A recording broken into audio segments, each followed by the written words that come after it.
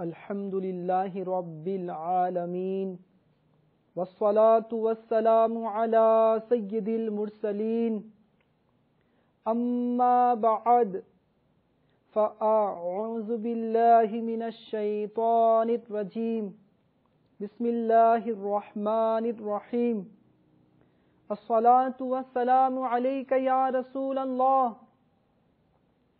وعلى آلك وصحابك يا حبيب الله الصلاة والسلام عليك يا نبي الله وعلى آلك وصحابك يا نور الله প্রিয় ইসলামী ভাইয়েরা দৃষ্টি নত করে গভীর মনোযোগ সহকারে ফেজানে সুন্নতের দর্শ বয়ান শ্রবণ করুন কারণ অন্য মনস্ক হয়ে শুনলে এর বরকত সমূহ হাতছাড়া হয়ে যাবার সম্ভাবনা রয়েছে। দুর্দ সালাম পড়ার অসংখ্য ফজিলত এবং বরকত রয়েছে।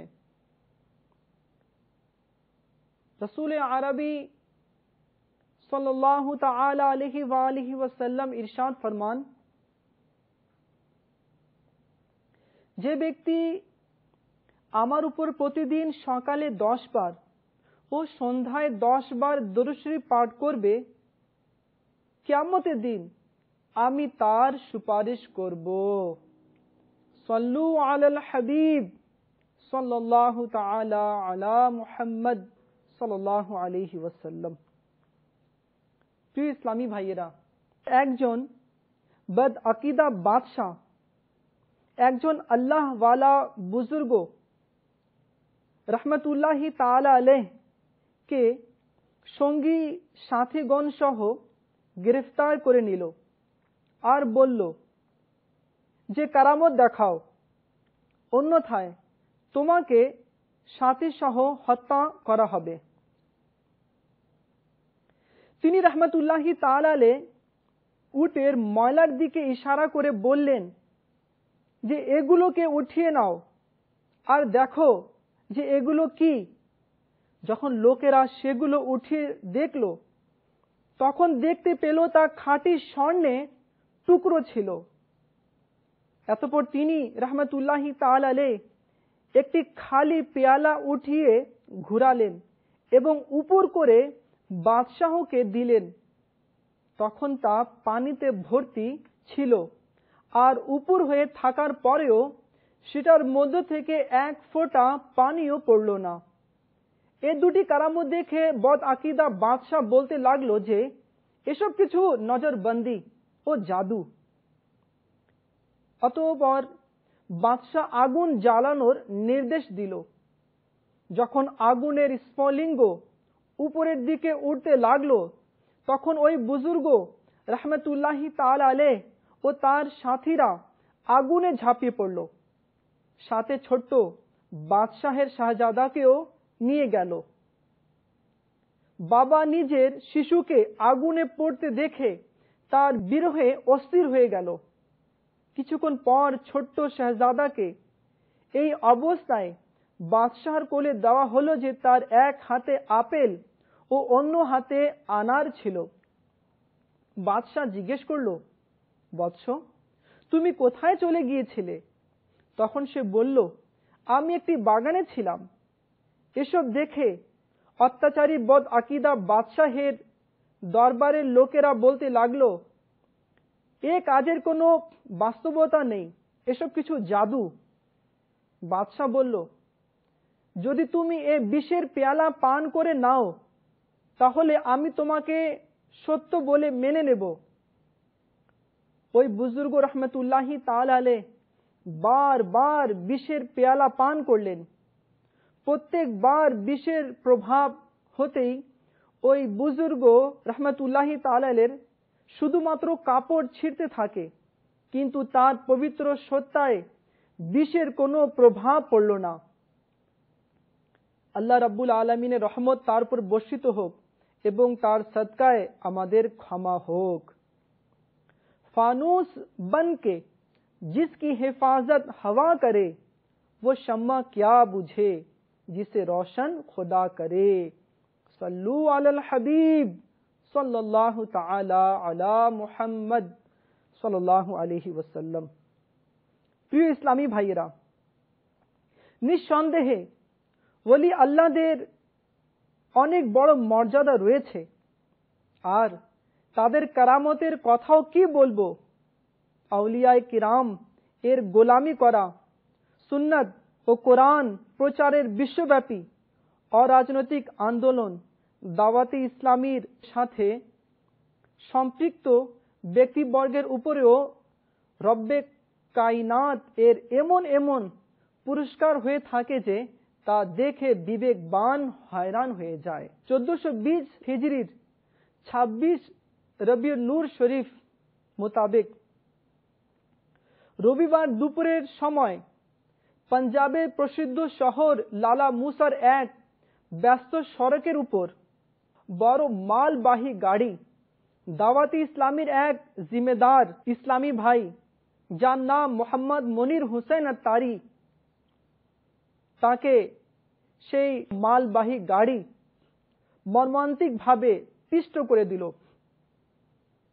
এমনকি তার পেট মাঝখান হতে দু ভাগ হয়ে গেল। কিন্তু আশ্চর্যজনক ব্যাপার, হুশ, এতটুকু বহাল ছিল যে উচ্চ আওয়াজে, লা ইলাহা ইল্লাল্লাহু মুহাম্মাদুর রাসূলুল্লাহ এবং ওয়াসসালামু আলাইকা ইয়া রাসূলুল্লাহ পড়ে যাচ্ছিল লালা মুসা হাসপাতালের ডাক্তারেরা জবাব দিয়েছিল ইসলামী ভাইয়েরা গুজরাট শহরের আজিজ ভট্টি হাসপাতালে নিয়ে যাওয়া হলো।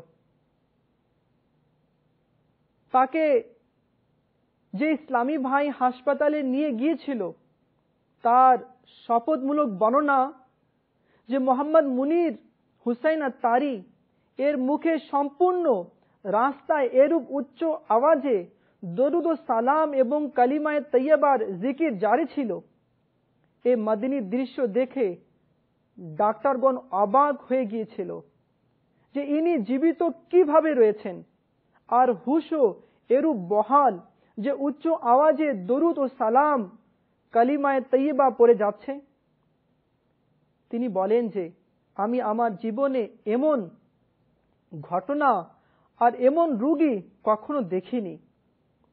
কিছুক্ষণ পর ওই সৌভাগ্যবান আশিকে রসুল মোহাম্মদ মুনির হুসাইন তারি বারগাহে মহবুবে বারি হজরত মোহাম্মদ মুস্তফা সাল্লাহ আলী ওসাল্লাম এর মহান দরবারে শত ব্যাকুলতার সাথে এভাবে সাহায্য চাইলেন।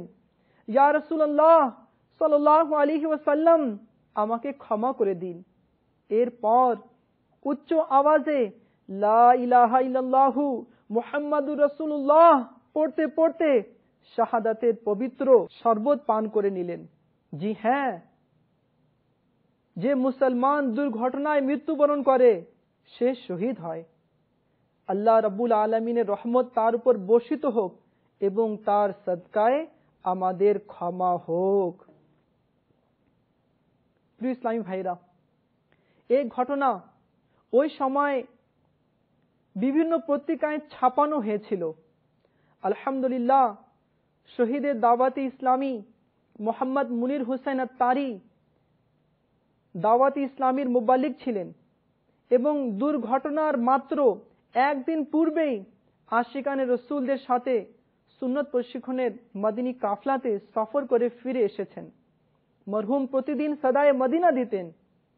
দাওয়াতি ইসলামীর মদিনী পরিবেশে ফজরের নামাজের জন্য মুসলমানদের জাগানোকে সদায় মদিনা দেওয়া বলা হয়। আলহামদুলিল্লাহ, অসংখ্য সৌভাগ্যবান ইসলামী ভাই এ সুন্নত আদায় করেন। জি হ্যাঁ ফজরের নামাজের জন্য মুসলমানদের জাগানো সুন্নত। যেমন, হজরত সৈদুনা আবি বকরা রদিউল্লাহ তালানহ বলেন, আমি সরকারে মদিনা হজরত মুহাম্মদ মুস্তফা সাল্লাহ আলহি ওয়াসাল্লামের সাথে ফজরের নামাজের জন্য বের হলাম। তখন তিনি সাল্লাহ আলহি ওসাল্লাম যে ঘুমন্ত ব্যক্তির পাশ দিয়ে অতিক্রম করেছিলেন, তাকে নামাজের জন্য আওয়াজ দিতেন অথবা আপন মুবারক পা দিয়ে নারা দিতেন। যে সৌভাগ্যবান ইসলামী ভাই সাদাই মদিনা দেন, আলহামদুলিল্লাহ, তিনি সুন্নত আদায়ের সবাব পেয়ে থাকেন। মনে রাখবেন পা দিয়ে নাড়া দেওয়ার অনুমতি সকলের জন্য নেই। শুধুমাত্র ওই সম্মানিত ব্যক্তি পা দিয়ে নাড়া দিতে পারবেন, যার দ্বারা ঘুমন্ত ব্যক্তি মনে কষ্ট না পায়। তবে যদি কোনো শরীয়তের বাধা না থাকে, তাহলে নিজের হাতে পা টিপে জাগানোতে অসুবিধা নেই।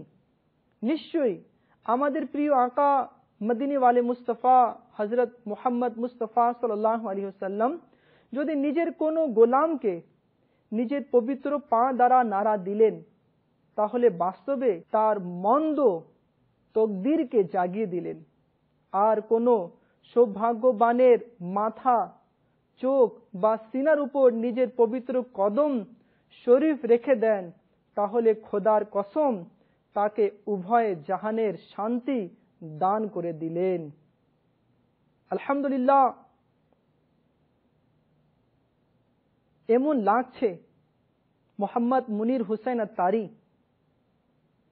দাওয়াতি ইসলামীর খিদমতেই সৌভাগ্য এনে দিয়েছে। ও শেষ সময়ে তার কালিমা নসিব হয়ে গেল। আর মৃত্যুর সময়ে যার কালিমা নসিব হয়ে যায়, তার আখিরাতের তরি কিনারা পেয়ে যায়।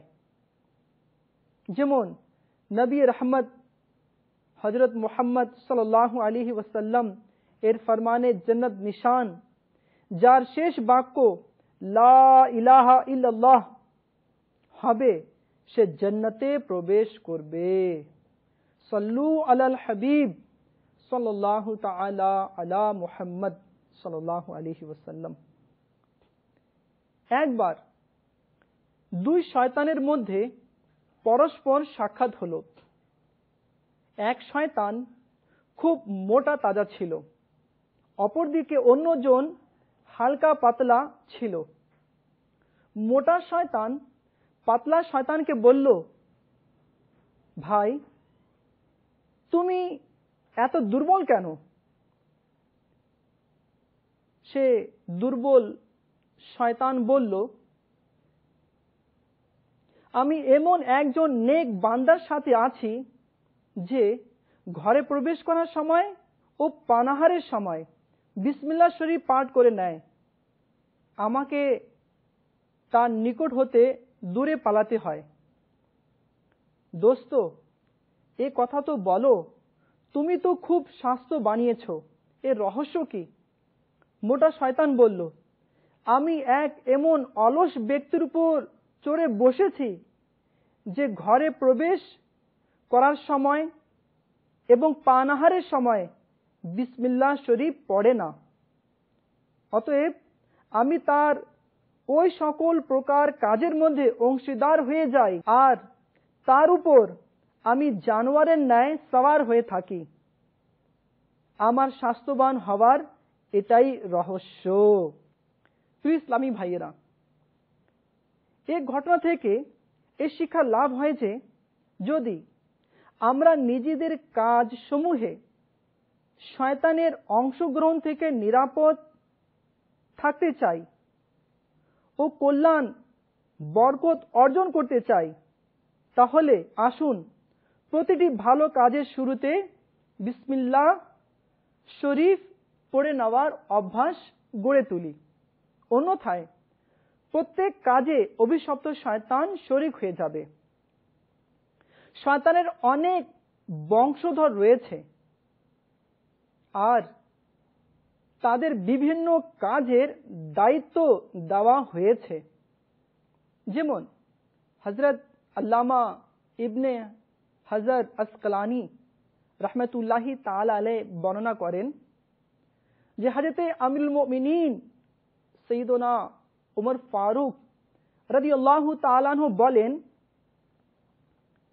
যে শয়তানের সন্তান নয় জন রয়েছে। তার মধ্যে থেকে একজন জালিতুন দুই নম্বর, ওয়াসিন তিন নম্বর, লাকুস চার, আওয়ান পাঁচ হফাফ ছয়, মুর্রাহ, সাত, মুসাব্বিত, আট, দা সিম নয়, ওয়ালহান। জালিতুন, এর কাজ হচ্ছে বাজারগুলোতে নিয়োজিত, আর সেখানে নিজের পতাকা গেড়ে থাকে। ওয়াসিন মানুষদের আকস্মিক বিপদে ফেলার দায়িত্বে নিয়োজিত রয়েছে। লাকুস আগুন পূজারীদের উপর নিয়োজিত। আহ্বান শাসকদের সাথে থাকে। হাফাফ সারাবিদের সাথে থাকে। মুর্রাহ গান বাজনাকারীদের উপর নিয়োজিত। মুসাব্বিত বাজে কথাবার্তা সর্বত পৌঁছে দেওয়ার কাজে নিয়োজিত।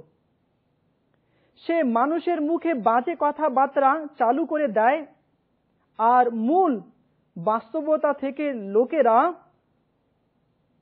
অনবিহিত হয়ে থাকে। দাসিম ঘর সমূহে নিয়োজিত রয়েছে। যদি ঘরের বাসিন্দারা ঘরে প্রবেশ করার সময় সালাম না করে ও বিসমিল্লা না পড়ে, তাহলে সে এসব ঘরের বাসিন্দাদের পরস্পরের মধ্যে ঝগড়া বাঁধিয়ে দেয়। এমনকি তালাক বা খোলা, অর্থাৎ স্ত্রী কর্তৃক স্বামীর কাছে তালাক চাওয়া বা মারামারির পর্যায়ে পৌঁছিয়ে দেয়। ওয়ালহান ওজু নামাজ ও অন্যান্য ইবাদতের মধ্যে কুমন্ত্রণা দেওয়ার জন্য নিয়োজিত রয়েছে।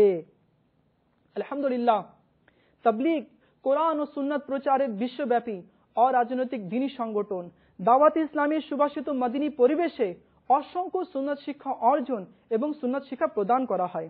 প্রত্যেক বৃহস্পতিবারে আপনার শহরে মাগরিবের নামাজের পরে যে ইস্তেমা হয়, সেই ইস্তেমায় অংশগ্রহণ করার মদিনী অনুরোধ রইল।